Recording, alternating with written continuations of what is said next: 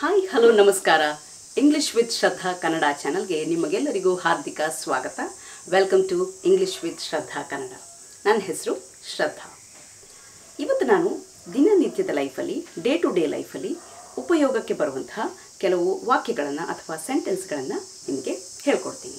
ಅದನ್ನು ಹೇಗೆ ಯೂಸ್ ಮಾಡಬೇಕು, ಯಾವ ಸಂದರ್ಭದಲ್ಲಿ, ಯಾವ ಸಿಚುವೇಶನಲ್ಲಿ ಯೂಸ್ ಮಾಡಬೇಕು ಅಂತ ನಾನು ನಿಮಗೆ ಉದಾಹರಣೆಗಳ ಸಮೇತ ಹೇಳ್ಕೊಡ್ತೀನಿ. ಬನ್ನಿ ಹಾಗಾದರೆ ಶುರು ಮಾಡೋಣ. What is your name what is your name ನಿನ್ನ ಹೆಸರೇನು? ನಿಮಗೆ ಯಾರೋ ಪರಿಚಯ ಇಲ್ಲದ ವ್ಯಕ್ತಿಯನ್ನು ನೀವು ಮಾತನಾಡಿಸ್ಬೇಕಾದ್ರೆ ಅವರ ಹೆಸರು ತಿಳ್ಕೊಳ್ಬೇಕಾದ್ರೆ ನೀವು ಹೇಳ್ತೀರಾ what is your name what is your name ನಿನ್ನ ಹೆಸರೇನು? ಗುಡ್ ಜಾಬ್ ಗುಡ್ ಜಾಬ್ ಏನಿದು ಗುಡ್ ಜಾಬ್ ನಾನೊಂದು ಉದಾಹರಣೆ ಹೇಳ್ತೀನಿ.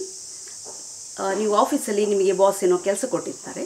ನೀವು ಅದನ್ನು ಟೈಮಿಗೆ ಸರಿಯಾಗಿ ಚೆನ್ನಾಗಿ ಮುಗಿಸಿರ್ತೀರ ಆಗ ನಿಮ್ಮ ಬಾಸ್ ಹೇಳ್ತಾರೆ ಗುಡ್ ಜಾಬ್ ಗುಡ್ ಜಾಬ್ ಇಲ್ಲ, ಇನ್ನೊಂದು ಉದಾಹರಣೆ ಹೇಳೋದಾದರೆ, ನೀವು ಸ್ಟೂಡೆಂಟ್ ಅಂದ್ಕೊಳ್ಳೋಣ.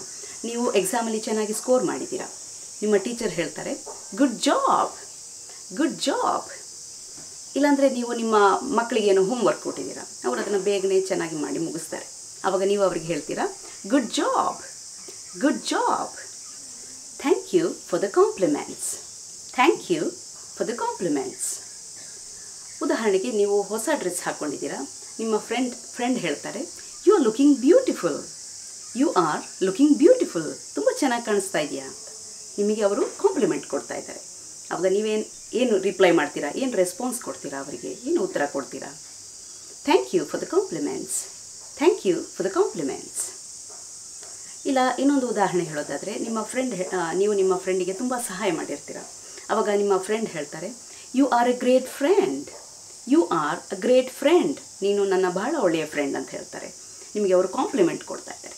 ಆವಾಗ ನೀವು ಹೇಳ್ತೀರಾ thank you for the compliments thank you for the compliments I am glad you like it I am glad you like it ಇದನ್ನು ಹೇಗೆ ಯೂಸ್ ಮಾಡ್ತೀರಾ? ಉದಾಹರಣೆಗೆ, ನೀವು ನಿಮ್ಮ ಮಗುವಿಗೆ ಏನೋ ಗಿಫ್ಟ್ ತಂದಿರ್ತೀರ, ಏನೋ ಪ್ರೆಸೆಂಟ್ ತಂದಿರ್ತೀರ. ಅವ್ರಿಗೆ ಇಷ್ಟ ಆಗುತ್ತೆ ಅದು. ಐ ಲೈಕ್ ಇಟ್ ಅಂತ ಹೇಳ್ತಾರೆ ಅವರು. ಐ ಲೈಕ್ ಇಟ್ ನನಗೆ ಇಷ್ಟ ಆಯಿತು ಅಂತ ಹೇಳ್ತಾರೆ. ಆಗ ಅವರಿಗೆ ನೀವು ತಂದಿರೋದು ಇಷ್ಟ ಆಯಿತು ಅಂತ ನಿಮಗೆ ಖುಷಿ ಆಗುತ್ತೆ. ಆವಾಗ ನೀವು ಹೇಳ್ತೀರಾ I am glad you like it I am glad you like it it's so sweet of you it's so sweet of you ಇದನ್ನು ಯಾವ ಸಿಚುವೇಶನಲ್ಲಿ ಹೇಳ್ತೀರಾ? ಉದಾಹರಣೆಗೆ ನಿಮ್ಮ ಫ್ರೆಂಡ್ ನಿಮಗೆ ತುಂಬಾ ಹೆಲ್ಪ್ ಮಾಡಿರ್ತಾರೆ. ನಿಮಗೆ ಅವರು ಅಷ್ಟರ ಮಟ್ಟಿಗೆ ಹೆಲ್ಪ್ ಮಾಡ್ತಾರೆ ಅಂತ ನಿಮಗೆ ನಿರೀಕ್ಷೆನೇ ಇರೋದಿಲ್ಲ. ಆಗ ನಿಮಗೆ ಖುಷಿ ಆಗುತ್ತೆ. ಆವಾಗ ನೀವು ಅವರನ್ನು ಅಪ್ರಿಷಿಯೇಟ್ ಮಾಡೋದಕ್ಕೆ, ನಿಮ್ಮ ಮೆಚ್ಚುಗೆಯನ್ನು ವ್ಯಕ್ತಪಡಿಸೋದಕ್ಕೆ ನೀವು ಹೇಳ್ತೀರಾ? It's so sweet of you it's so sweet of you ಇಲ್ಲ, ಇನ್ನೊಂದು ಉದಾಹರಣೆ ತಗೊಳ್ಳೋಣ. ನೀವು ನಿಮ್ಮ ಮನೆಯಲ್ಲಿ ನಿಮ್ಮ ಬರ್ತ್ಡೇ ಇರುತ್ತೆ ಅಂದ್ಕೊಳ್ಳೋಣ. ನಿಮ್ಮ ಮಕ್ಕಳು ನಿಮಗೋಸ್ಕರ ಅವರ ಕೈನಲ್ಲಿ ಬರೆದು ನಿಮಗೇನೋ ಬರ್ತ್ಡೇ ಕಾರ್ಡ್ ಮಾಡಿರ್ತಾರೆ. ಇಲ್ಲ, ನಿಮಗೋಸ್ಕರ ಅವರೇ ಕೇಕ್ ಬೇಕ್ ಮಾಡಿರ್ತಾರೆ. ನಿಮಗೋಸ್ಕರ ಅವರು ಅಡುಗೆ ಮಾಡಿರ್ತಾರೆ. ಆಗ ನಿಮಗೆ ಅದನ್ನು ನೋಡಿ ಖುಷಿ ಆಗುತ್ತೆ. ನೀವು ಆ ಥರ ಮಕ್ಕಳು ನಿಮಗೋಸ್ಕರ ಮಾಡ್ತಾರೆ ಅಂತ ನೀವು ನಿರೀಕ್ಷೆ ಮಾಡಿರೋದಿಲ್ಲ ಎಕ್ಸ್ಪೆಕ್ಟ್ ಮಾಡಿರೋದಿಲ್ಲ. ಆಗ ನಿಮಗೆ ಖುಷಿ ಆಗುತ್ತೆ. ಆವಾಗ ನೀವು ಹೇಳ್ತೀರಾ it's so sweet of you thank you it's so sweet of you thank you can you please repeat that can you please repeat that ಅದನ್ನು ಯಾವಾಗ ಹೇಳ್ತೀರಾ ನೀವು? ಉದಾಹರಣೆಗೆ, ನೀವು ಕಸ್ಟಮರ್ ಕೇರ್ಗೆ ಫೋನ್ ಮಾಡ್ತೀರಾ ಅಂದ್ಕೊಳ್ಳೋಣ. ನಿಮ್ಮ ಫೋನಲ್ಲಿ ಏನೋ ಪ್ರಾಬ್ಲಮ್ ಇದೆ, ನೀವೇನೋ ಕಂಪ್ಲೇಂಟ್ ರಿಜಿಸ್ಟರ್ ಮಾಡಬೇಕು. ಆವಾಗ ಅವ್ರು ಹೇಳ್ತಾರೆ "ಆ, ನಿಮ್ಮದು ಕಂಪ್ಲೇಂಟ್ ಎಲ್ಲ ನೋಟ್ ಡೌನ್ ಮಾಡ್ಕೊಂಡಿದ್ದೀನಿ ರಿಜಿಸ್ಟರ್ ಆಗಿದೆ. ಈ ನಂಬರನ್ನು ನೋಟ್ ಮಾಡ್ಕೊಂಡು ನೋಟ್ ಮಾಡ್ಕೊಳ್ಳಿ ರೆಫರೆನ್ಸ್ ನಂಬರ್ ಏನು ಕೊಡ್ತಾರೆ ಈ ನಂಬರನ್ನು ನೋಟ್ ಮಾಡ್ಕೊಳ್ಳಿ ಅಂತ ನಂಬರ್ ಹೇಳ್ತಾರೆ. ನಿಮಗೆ ಬರ್ಕೊಳ್ಬೇಕಾದ್ರೆ ನಿಮಗೆ ಮರ್ತು ಹೋಗುತ್ತೆ ಅವ್ರು ಏನು ಹೇಳಿದ್ರು ಗೊತ್ತಾಗಲಿಲ್ಲ. ಆವಾಗ ನೀವು ಹೇಳ್ತೀರಾ can you please repeat that ಅದನ್ನು ಮತ್ತೊಂದು ಸರಿ ಹೇಳ್ತೀರಾ please can you please repeat that number can you please repeat that ಅದನ್ನು ರಿಪೀಟ್ ಮಾಡ್ತೀರಾ ಮತ್ತೊಂದು ಸರಿ ಹೇಳ್ತೀರಾ? ಆ ಥರ ನೀವು ಯೂಸ್ ಮಾಡ್ಬೋದು. ಇನ್ನೊಂದು ಸಿಚುವೇಶನ್ ಅಂದರೆ ನೀವು ಕ್ಲಾಸಲ್ಲಿದ್ದೀರಾ ನಿಮ್ಮ ಪ್ರೊಫೆಸರ್ ಅಥವಾ ನಿಮ್ಮ ಲೆಕ್ಚರರ್ ನಿಮಗೇನೋ ನೋಟ್ಸ್ ಕೊಡ್ತಾ ಇದ್ದಾರೆ, ನೀವು ನೋಟ್ಸ್ ಬರ್ಕೊಳ್ತಾ ಇದ್ದೀರಾ. ಅವ್ರು ಏನು ಹೇಳಿದ್ರು ನಿಮಗೆ ಗೊತ್ತಾಗಲಿಲ್ಲ. ಅವಾಗ ನೀವು ಅವ್ರನ್ನ ಹೇಳ್ತೀರಾ sir can you please repeat that sir can you please repeat that I know how it feels I know how it feels ಉದಾಹರಣೆಗೆ ನಿಮ್ಮ ಫ್ರೆಂಡ್ ಏನೋ ಅವರ ಕಷ್ಟ ಶೇರ್ ಮಾಡ್ತಾರೆ ನಿಮ್ಮ ಜೊತೆ, ಅವ್ರು ತುಂಬ ಕಷ್ಟದಲ್ಲಿದ್ದಾರೆ ಅಂತ ನಿಮ್ಮ ಜೊತೆ ಹೇಳ್ಕೊಳ್ತಾರೆ. ಆವಾಗ ನಿಮಗೆ ಅವ್ರು ಹೇಳ್ತಿರೋ ಅಂಥದ್ದು ಅರ್ಥ ಆಗುತ್ತೆ. ನಿಮಗೆ ಅವ್ರ ಸಿಚುವೇಶನ್ ಅರ್ಥ ಆಗುತ್ತೆ. ನನಗೆ ಅರ್ಥ ಆಗುತ್ತೆ, ನೀನು ಕಷ್ಟ ಅಂತ ನೀವು ಹೇಳಬೇಕು ಅಂತಿದ್ರೆ I know how it feels I know how it feels I am sorry I am sorry ಇದನ್ನು ನಾವು ಬೇರೆ ಬೇರೆ ಸಿಚುವೇಶನ್ಸಲ್ಲಿ ಯೂಸ್ ಮಾಡ್ಬೋದು. ನೋಡಿ, ಮೊದಲನೇ ಉದಾಹರಣೆ ಅಂದರೆ, ನೀವೇನೋ ತಪ್ಪು ಮಾಡಿರ್ತೀರ, ನೀವೇನೋ ಮಿಸ್ಟೇಕ್ ಮಾಡಿರ್ತೀರ, ಆವಾಗ ನೀವು ಹೇಳ್ತೀರಾ I am sorry I am sorry ಇಲ್ಲಾಂದರೆ ಇನ್ನೊಂದು ಸಿಚುವೇಷನ್ ಅಂದರೆ ಬೇರೊಬ್ಬರು ಮಾತನಾಡ್ತಿರ್ತಾರೆ, ನೀವು ಮಧ್ಯದಲ್ಲಿ ಏನೋ ಮಾತನಾಡಬೇಕಾಗುತ್ತೆ. ಆವಾಗ ನೀವು ಹೇಳ್ತೀರಾ I am sorry to interrupt I am sorry to interrupt ನಾನು ನಿಮ್ಮನ್ನು ಸ್ಟಾಪ್ ಮಾಡ್ತಾ ಇದ್ದೀನಿ, ನಿಮ್ಮನ್ನು ಇಂಟರಪ್ಟ್ ಮಾಡ್ತಾ ಇದ್ದೀನಿ. ದಯವಿಟ್ಟು ಕ್ಷಮಿಸಿ. I am sorry to interrupt ಈ ಥರ ಕೂಡ ಐ ಆಮ್ ಸಾರಿಯನ್ನು ಯೂಸ್ ಮಾಡಬಹುದು. ಇನ್ನೊಂದು ಅಂದರೆ, ನಿಮ್ಮ ಹತ್ರ ಒಬ್ಬರು ಏನೋ ಹೇಳ್ತಾ ಇರ್ತಾರೆ, ನೀವು ಅವರು ಏನು ಅವ್ರು ಏನು ಹೇಳಿದ್ದು ನಿಮಗೆ ಅರ್ಥ ಆಗಿರೋದಿಲ್ಲ. ಆವಾಗ ನೀವು ಹೇಳ್ತೀರಾ ಐ ಆಮ್ ಸಾರಿ ಈ ಥರ ಕ್ವೆಶ್ಚನ್ ಮಾರ್ಕ್ ಬರೋ ರೀತಿಯಲ್ಲಿ ಐ ಆಮ್ ಸಾರಿ ನೀವೇನು ಹೇಳಿದ್ದು ನನಗೆ ಅರ್ಥ ಆಗಲಿಲ್ಲ. ಐ ಆಮ್ ಸಾರಿ ಆ ಥರ ಕ್ವೆಶ್ಚನ್ ರೀತಿಯಲ್ಲಿ ನೀವು ಅದನ್ನು ಕೇಳಬೇಕು. Do you like this do you like this ನಿನಗಿದು ಇಷ್ಟ ಆಗುತ್ತಾ? ಡು ಯು ಲೈಕ್ ದಿಸ್ ಈ ದಿಸ್ ಬದಲಾಗಿ ನೀವು ಬೇರೆ ಬೇರೆ ಪದಗಳನ್ನು ಉಪಯೋಗಿಸ್ಕೊಳ್ಬೋದು. ಉದಾಹರಣೆಗೆ do you like cricket do you like cricket ನಿಮಗೆ ಕ್ರಿಕೆಟ್ ಇಷ್ಟ ಆಗುತ್ತಾ? ಇಲ್ಲ do you like music do you like music ನಿನಗೆ ಮ್ಯೂಸಿಕ್ ಇಷ್ಟ ಆಗುತ್ತಾ? ಇಲ್ಲಾಂದರೆ ಡು ಯು ಲೈಕ್ ಹಿಮ್ ಅವನು ನಿನಗೆ ಇಷ್ಟ ಆಗ್ತಾನಾ? ಡು ಯು ಲೈಕ್ ಹಿಮ್ ಇಲ್ಲಾಂದರೆ ಅವಳು ಅಂತಿದ್ರೆ do you like her do you like her ಆ ಥರ ನೀವು ಇದನ್ನು ಯೂಸ್ ಮಾಡ್ಬೋದು. I don't like him I don't like him ನನಗೆ ಅವನು ಇಷ್ಟ ಇಲ್ಲ. ಐ ಡೋಂಟ್ ಲೈಕ್ ಹಿಮ್ ಇಲ್ಲ, ನನಗೆ ಅವಳು ಇಷ್ಟ ಇಲ್ಲ.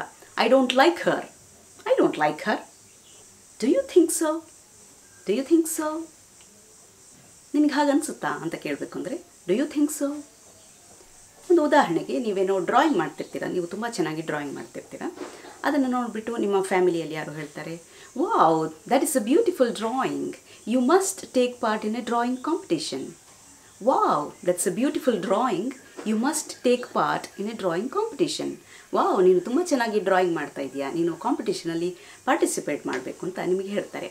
ಅವಾಗ ನೀವು ಹೇಳ್ತೀರಾ do you think so do you think so ನಿಮ್ಗೆ ಹಾಗೆ ಅನಿಸುತ್ತಾ ಡು ಯು ಥಿಂಕ್ ಸೊ ಆ ಥರ ನೀವು ಆ ಥರ ಸಿಚುವೇಶನಲ್ಲಿ ಯೂಸ್ ಮಾಡ್ಬೋದು. ಇಲ್ಲಾಂದರೆ ನೀವು ತುಂಬ ಚೆನ್ನಾಗಿ ಕುಕ್ ಮಾಡ್ತೀರಾ, ತುಂಬ ಚೆನ್ನಾಗಿ ಅಡುಗೆ ಮಾಡ್ತೀರಾ ಅಂದ್ಕೊಳ್ಳೋಣ ಆಗ ನಿಮ್ಮ ಅಡುಗೆಯನ್ನು ಟೇಸ್ಟ್ ಮಾಡಿದವ್ರು ಹೇಳ್ತಾರೆ wow this is delicious you must start a food business wow this is delicious you must start a food business wow ನೀವು ತುಂಬ ಚೆನ್ನಾಗಿ ಅಡುಗೆ ಮಾಡ್ತೀರಾ, ನೀವು ಇದರದ್ದು ಬಿಸ್ನೆಸ್ ಸ್ಟಾರ್ಟ್ ಮಾಡಬೇಕು ಅಂತ ನಿಮಗೊಬ್ಬರು ಸಜೆಷನ್ ಕೊಡ್ತಾರೆ. ಅವರ ಐಡಿಯಾವನ್ನು ಹೇಳ್ತಾರೆ. ಅವಾಗ ನೀವು ಹೇಳ್ತೀರಾ do you think so do you think so ಆ ಥರ ನೀವು ಸಿಚುವೇಶನ್ಸಲ್ಲಿ ಇದನ್ನು ಯೂಸ್ ಮಾಡ್ಬೋದು. ಅಫ್ಕೋರ್ಸ್ ಅಫ್ಕೋರ್ಸ್ ಇದನ್ನು ಹೇಗೆ ಯೂಸ್ ಮಾಡ್ತೀರಾ? ಉದಾಹರಣೆಗೆ do you like chocolates do you like chocolates ನಿನಗೆ ಚಾಕ್ಲೇಟ್ಸ್ ಇಷ್ಟ ಆಗುತ್ತಾ? ಅಫ್ಕೋರ್ಸ್ ಅಫ್ಕೋರ್ಸ್ ನಾನು ಯಾವಾಗ ಬೇಕಾದರೂ ಚಾಕ್ಲೇಟ್ ಕೊಟ್ಟರೆ ತಿನ್ನೋದಕ್ಕೆ ರೆಡಿ ನನಗಂತೂ ಸಖತ್ ಇಷ್ಟ. ಅಫ್ಕೋರ್ಸ್ ಇಲ್ಲಾಂದರೆ do you like eating out do you like eating out ನಿನಗೆ ಹೊರಗಡೆ ಹೋಗಿ ಹೋಟೆಲ್ಸಲ್ಲಿ ತಿನ್ನೋದಕ್ಕೆ ಇಷ್ಟನಾ? Of course of course I don't know for sure. I don't know for sure ಏನಿದು? ನಿಮಗೆ ಸರಿಯಾಗಿ ಗೊತ್ತಿರೋದಿಲ್ಲ ಹಂಡ್ರೆಡ್ ಪರ್ಸೆಂಟ್ ಗೊತ್ತಿಲ್ಲ ಬಟ್ ಹೀಗಿರ್ಬೋದೇನೋ ಅಂತ ನಿಮಗೊಂದು ಐಡಿಯಾ ಇದೆ ಅಷ್ಟೇ. ನಿಮಗೆ ಕರೆಕ್ಟಾಗಿ ಗೊತ್ತಿಲ್ಲ. ಆವಾಗ ನೀವು ಹೇಳ್ತೀರಾ I don't know for sure ಉದಾಹರಣೆಗೆ ನೀವು ನಡ್ಕೊಂಡು ಹೋಗ್ತಾ ಇರ್ತೀರಾ, ಆವಾಗ ಯಾರೋ ಬಂದು ನಿಮ್ಮನ್ನು ಒಂದು ಅಡ್ರೆಸ್ ತೋರಿಸ್ಬಿಟ್ಟು ಕೇಳ್ತಾರೆ, ನಿಮಗೆ ಈ ಅಡ್ರೆಸ್ ಗೊತ್ತಿದೆಯಾ? ಅಂತ. ಆವಾಗ ನಿಮಗೆ ಅಡ್ರೆಸ್ ಗೊತ್ತಿರೋದಿಲ್ಲ. ಬಟ್ ನಿಮಗೊಂದು ಐಡಿಯಾ ಇದೆ, ಈ ಕಡೆ ಇರಬಹುದೇನೋ ಅಂತ. ಅಷ್ಟೇ. ನಿಮಗೆ ಕರೆಕ್ಟಾಗಿ ಗೊತ್ತಿಲ್ಲ. ಆವಾಗ ನೀವು ಹೇಳ್ತೀರಾ maybe this side I don't know for sure maybe this side I don't know for sure would you like to go to the movies tomorrow would you like to go to the movies tomorrow ನಾಳೆ ನಾವು ಮೂವಿಗೆ ಹೋಗೋಣವಾ ಅಂತ ಕೇಳ್ತೀರಾ ನಿಮ್ಮ friends ಹತ್ರ ಕೇಳಬೇಕಂದ್ರೆ would you like to go to the movies tomorrow ಈ ವಾಕ್ಯವನ್ನು ನೀವು ಯೂಸ್ ಮಾಡ್ಬೋದು. I would love to. Thank you I would love to thank you ಇದನ್ನು ಹೇಗೆ ನೀವು ಹೇಳ್ತೀರಾ? ಇದನ್ನು ರೆಸ್ಪಾನ್ಸ್ ಆಗಿ ನೀವು ಉತ್ತರವಾಗಿ ಹೇಳ್ತೀರಾ? ಈಗ ನಾನು ಈ ಮೊದಲೇ ಹೇಳಿದೆ. Would you like to go to the movies tomorrow ನಾಳೆ ನಾವು ಮೂವಿಗೆ ಹೋಗೋಣ ಅಂತ ನಿಮ್ಮ ಫ್ರೆಂಡ್ ನಿಮ್ಮನ್ನು ಕೇಳ್ತಾರೆ. ನಿಮಗೆ ಮೂವಿಗೆ ಹೋಗೋದಕ್ಕೆ ಇಷ್ಟ? ನೀವು ರೆಡಿ ಇದ್ದೀರಾ? ಅವಾಗ ನೀವು ಹೇಳ್ತೀರಾ I would love to thank you I would love to thank you ಇಲ್ಲಾಂದರೆ ನಿಮ್ಮ ಫ್ರೆಂಡ್ ಕೇಳ್ತಾರೆ would you like some coffee ನಾವು coffee ಕುಡಿಯೋಣವಾ would you like some coffee ಅವಾಗ ನೀವು ಹೇಳ್ತೀರಾ? I would love to thank you ನನಗೆ ನಾನು ರೆಡಿ ಇದ್ದೀನಿ. ನನಗೆ ಇಷ್ಟ. ನಾನು, ನನಗೆ ಬೇಕು coffee I would love to thank you ಅಂತ ಹೇಳ್ತೀನಿ thank you but I am busy thank you but I am busy ಇದು ಹೇಗೆ ಹೇಳ್ತೀರಾ? ಈಗ ನಾನು ಮೊದಲೇ ಹೇಳಿದ ಎಕ್ಸಾಂಪಲ್ ತಗೊಳ್ಳೋಣ. Would you like to go to the movies tomorrow would you like to go to the movies tomorrow ನಿಮ್ಮನ್ನು ಕೇಳ್ತಾರೆ, ನಿಮ್ಮ ಫ್ರೆಂಡು ನಾಳೆ ನಾವು ಮೂವಿಗೆ ಹೋಗೋಣ ಅಂತ. ಅವಾಗ ನೀವು ಹೇಳ್ತೀರಾ thank you but I am busy thank you but I am busy ನನಗೆ ಬರೋದಕ್ಕಾಗೋದಿಲ್ಲ. ನಾನು ಸ್ವಲ್ಪ ಬ್ಯುಸಿ ಇದ್ದೀನಿ. ನನಗೆ ಸ್ವಲ್ಪ ಕೆಲಸ ಇದೆ.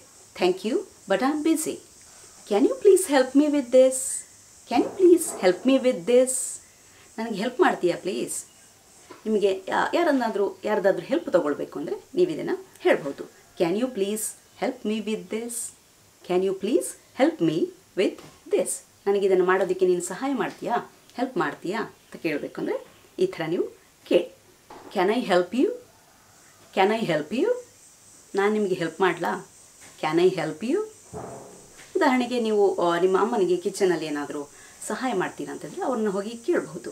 ಕ್ಯಾನ್ ಐ ಹೆಲ್ಪ್ ಯು ನಾನೇನಾದರೂ ಸಹಾಯ ಮಾಡಲಾ ಅಮ್ಮ? ಕ್ಯಾನ್ ಐ ಹೆಲ್ಪ್ ಯು ಅಂತ ಕೇಳ್ಬೋದು ಇಲ್ಲಾಂದರೆ ನಿಮ್ಮ ಮನೆಯಲ್ಲಿ ಯಾರಾದರೂ ಹಿರಿಯರಿದ್ದರೆ ಅಥವಾ ಹೊರಗಡೆ ಯಾರಾದರೂ ನಿಮಗೆ ಹಿರಿಯರು ಸಿಕ್ಕಿದರೆ ಅವ್ರಿಗೆ ಏನಾದರೂ ನೀವು ಸಹಾಯ ಮಾಡಬೇಕು ಅಂತ ಅನಿಸಿದರೆ ನೀವು ಅವ್ರನ್ನ ಕೇಳ್ಬೋದು can I help you can I help you ಈ ಥರ ನೀವು ಇದನ್ನು ಯೂಸ್ ಮಾಡ್ಬೋದು. No thank you no thank you ಈ ಉತ್ತರವನ್ನು ನೀವು ಯಾವಾಗ ಕೊಡ್ತೀರಾ? ಉದಾಹರಣೆಗೆ ನಿಮಗೆ ಯಾರಾದರೂ ಹೆಲ್ಪ್ ಆಫರ್ ಮಾಡ್ತಾರೆ. ನಾನು ಹೆಲ್ಪ್ ಮಾಡಲಾ ಅಂತ ಕೇಳ್ತಾರೆ. ಬಟ್ ನಿಮಗೆ ಅವರ ಹೆಲ್ಪಿನ ಅಗತ್ಯ ಇರೋದಿಲ್ಲ. ಆವಾಗ ನೀವು ಹೇಳ್ತೀರಾ? No thank you no thank you ಇಲ್ಲಾಂದರೆ ನಿಮ್ಮ ಕೊಲೀಗ್ ನಿಮ್ಮ ನಿಮ್ಮ ಜೊತೆ ಕೆಲಸ ಮಾಡೋರು ಅವ್ರ ಮನೆಗೆ ಹೋಗಬೇಕಾದ್ರೆ ನಿನ್ನನ್ನು ಡ್ರಾಪ್ ಮಾಡಲಾ ಅಂತ ಕೇಳ್ತಾರೆ. ಆವಾಗ ನೀವು ಹೇಳ್ತೀರಾ? No thank you no thank you I don't think so I don't think so ನನಗೆ ಹೇಗೆ ಅನಿಸ್ತಾ ಇಲ್ಲ ಅಂತ ಹೇಳಬೇಕು ಅನಿಸಿದರೆ ಐ ಡೋಂಟ್ ಥಿಂಕ್ ಸೊ ಉದಾಹರಣೆಗೆ ನಿಮ್ಮ ಫ್ರೆಂಡ್ ಹೇಳ್ತಾರೆ it's going to rain today ಇವತ್ತು ಮಳೆ ಬರುತ್ತೆ. It's going to rain today ಅವಾಗ ನೀವು ಹೇಳ್ತೀರಾ? ನಿಮಗೆ ಹಾಗೆ ಅನಿಸ್ತಾ ಇಲ್ಲ. ನೀವು ಹೇಳ್ತೀರಾ? I don't think so I don't think so ಈ ಥರ ನೀವು ಯೂಸ್ ಮಾಡ್ಬೋದು.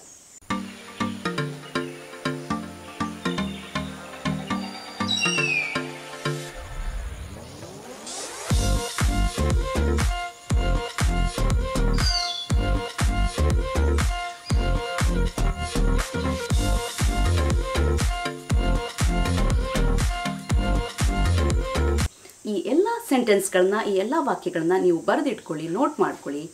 ನಿಮ್ಮ ಮನೆಯಲ್ಲಿ ಮಿರರ್ ಮುಂದೆ ನಿಂತ್ಕೊಂಡು ಪ್ರಾಕ್ಟೀಸ್ ಮಾಡಿ, ಇಲ್ಲ ಯಾರ್ದಾದ್ರೂ ಮನೆಯಲ್ಲಿ ಹೆಲ್ಪ್ ತೊಗೊಂಡು ಅವ್ರ ಜೊತೆ ಪ್ರಾಕ್ಟೀಸ್ ಮಾಡಿ ಇಲ್ಲಾಂದರೆ ನಿಮ್ಮ ಫ್ರೆಂಡ್ಸ್ ಜೊತೆ ಪ್ರಾಕ್ಟೀಸ್ ಮಾಡಿ. ಎಷ್ಟಾಗುತ್ತೋ ಅಷ್ಟು ಪ್ರಾಕ್ಟೀಸ್ ಮಾಡಿ. ರಿಯಲ್ ಲೈಫಲ್ಲಿ ಯಾವಾಗ ಸಿಚುವೇಶನ್ ಯಾವಾಗ ಅವಕಾಶ ಸಿಗುತ್ತೋ ಆವಾಗ ಈ ಸೆಂಟೆನ್ಸ್ಗಳನ್ನು ವಾಕ್ಯಗಳನ್ನು ಉಪಯೋಗಿಸಿ ಮಾತನಾಡಿ ಮಾತನಾಡಿ ಕಲೀರಿ. ಈ ವಿಡಿಯೋದಲ್ಲಿ ಇಷ್ಟೇ. ಈ ವಿಡಿಯೋ ನಿಮಗೆ ಇಷ್ಟವಾದಲ್ಲಿ ವಿಡಿಯೋವನ್ನು ಲೈಕ್ ಮಾಡಿ, ನಿಮ್ಮ ಫ್ರೆಂಡ್ಸ್ ಮತ್ತು ಫ್ಯಾಮಿಲಿ ಜೊತೆ ಶೇರ್ ಮಾಡಿ. ಚಾನಲ್ಗೆ ಸಬ್ಸ್ಕ್ರೈಬ್ ಆಗಿಲ್ಲ ಅಂದರೆ ಸಬ್ಸ್ಕ್ರೈಬ್ ಆಗೋದನ್ನು ಮರಿಬೇಡಿ. ನಿಮಗೆ ಏನಾದರೂ ಕ್ವೆಶನ್ಸ್ ಇದ್ದರೆ ನಿಮ್ಮದೇನಾದರೂ ಪ್ರಶ್ನೆಗಳು ಅಥವಾ ಏನಾದರೂ ಡೌಟ್ ಇದ್ದರೆ ನೀವು ನನಗೆ ಕಮೆಂಟ್ ಸೆಕ್ಷನಲ್ಲಿ ಹಾಕ್ಬೋದು ಅಥವಾ ನನಗೆ ಮೇಲ್ ಮಾಡಿ ಕೇಳಬಹುದು. ಹಾಗೆ ಅದರ ಜೊತೆಗೆ ನಿಮಗೆ ನಾನು ಯಾವ ರೀತಿಯ ವೀಡಿಯೋಗಳ ವಿಡಿಯೋಗಳನ್ನು ಮಾಡಬೇಕು ಅಂತ ನಿಮಗೆ ಏನಾದರೂ ಸಜೆಷನ್ಸ್ ಇದ್ದರೆ ಅದನ್ನು ಕೂಡ ನೀವು ನನಗೆ ಕಮೆಂಟ್ ಸೆಕ್ಷನಲ್ಲಿ ಬರೆದು ತಿಳಿಸ್ಬೋದು.